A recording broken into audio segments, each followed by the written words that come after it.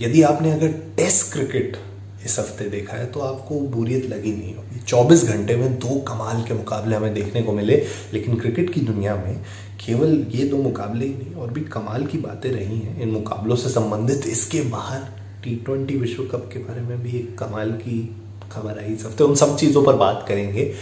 इस हफ़्ते के cricket news this week at social पर पर इससे पहले हम एपिसोड की शुरुआत करें। आपको कहना चाहूँगा कि यदि आपको हमारा कंटेंट पसंद आता है तो सबसे पहला काम जो आपको करना है, वो जो नीचे सब्सक्राइब बटन दिख रहा है, उस पर क्लिक करें। उसके पास में जो बेल आइकन दिख रहा है, उस पर क्लिक करें, ताकि आपको क्रिकेट न्यूज़ द्वारा की गई सभी वीडियोज़ की हाथों हाथ नोटिफिकेशन मिले। चलिए इस हफ़्ते के एपिसोड की शुरुआत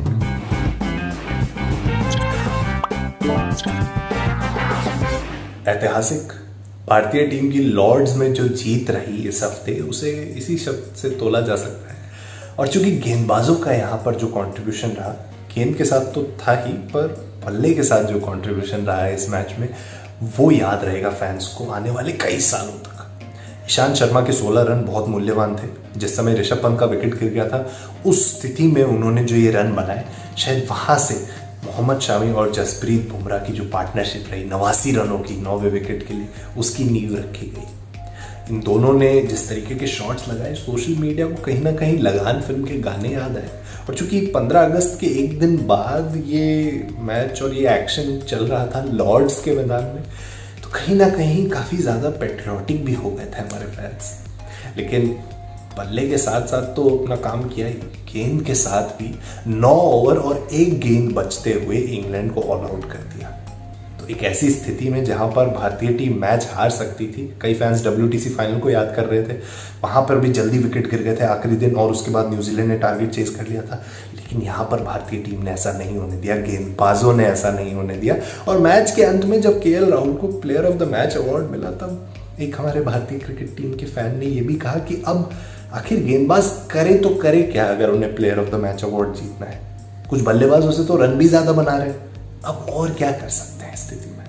ये लॉर्ड्स टेस्ट कहीं ना कहीं फ़ैन को क्रिकेट से ज़्यादा जो बातचीत हुई है on and off the field उसके लिए याद रहेगा। शुरुआत इसकी हुई थी, जसप्रीत बुमराह ने जब जिमी एंडरसन को बाउंसर्स डाली थी अपने उस ओवर में, जिसमें दस गेंदें करवाई थी उन्होंने। नो बॉल्स भी थे कहीं। और उसके बाद फिर आखिरी दिन जिस तरीके से उनका स्वागत किया, इंग्लैंड की टीम ने, बाउंसर्स डाले, उन्हें सर पर दो बार लगी गेंद उस आखिरी दिन। लेकिन फिर उन्होंने अपने शॉट्स लगाने बंद नहीं किए। मोहम्मद शामी ने अटैक किया दूसरी ओर से। और कहीं ना कहीं यही जो डायनेमिक होती है टेस्ट क्रिकेट की, इसी के चलते ये फॉर्मेट फैंस को इतना पसंद आता है। ब्रूटल शब्द का काफ़ी इस्तेमाल किया जा सकता है जब ऐसी गेंदबाजी कराई जाए। और जब बल्लेबाज वापस शॉट लगाए बदले में तो उनकी भी तारीफ़ होती है। और कुछ इसी तरीके का कॉन्टेस्ट हमें इस मैच में देखने को मिला। तो सीरीज़ तो अभी खत्म भी नहीं हुई है।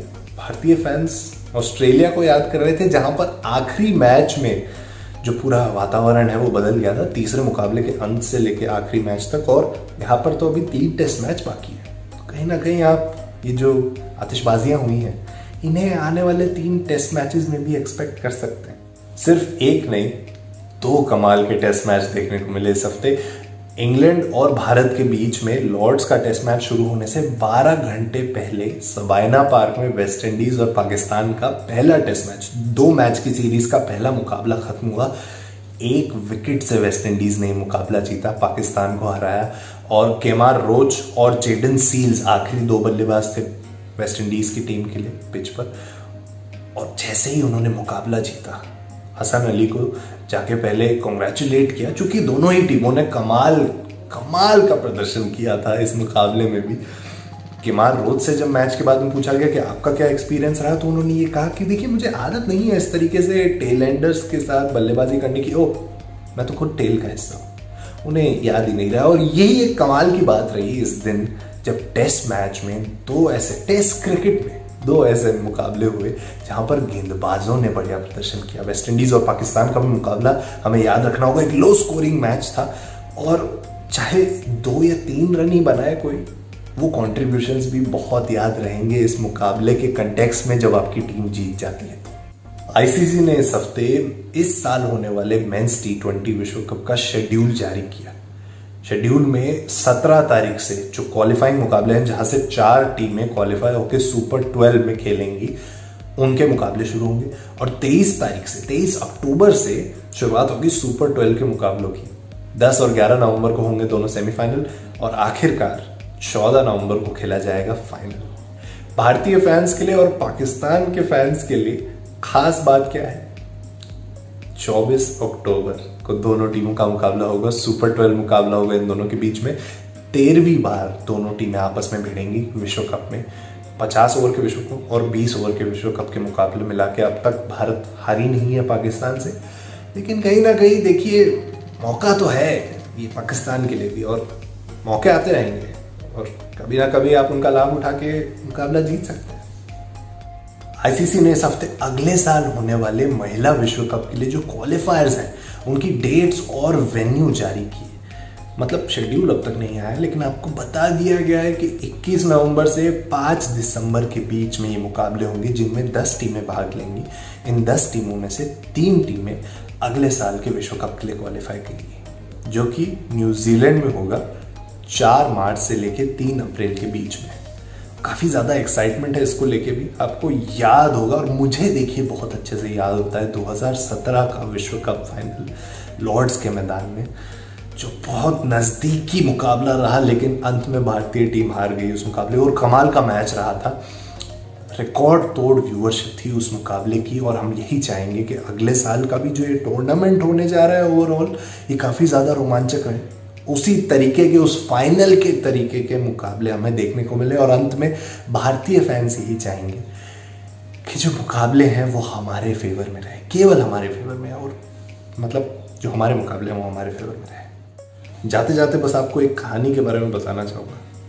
हर हफ़्ते क्रिकेट न्यूज़ के सीनियर एडिटर अभिषेक मुखर्जी हमारी वेबसाइट पर एक एडिटोरियल लिखते हैं रिवर्स स्कूप और इस हफ़्ते उन्होंने कहानी लिखी राशिद खान के बारे में।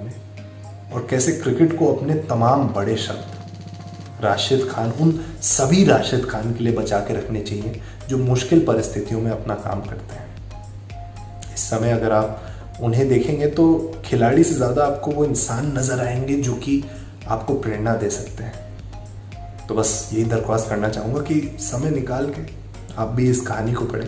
कहीं ना कहीं शायद आपको भी उस प्रेरणा की ज़रूरत हो, हम और आप सभी को उस प्रेरणा की ज़रूरत हो। इस हफ़्ते के लिए cricket news this week at social पर बस इतना ही। क्रिकेट की दुनिया से संबंधित सभी खबरों के लिए क्रिकेट न्यूज़ के साथ बने रहे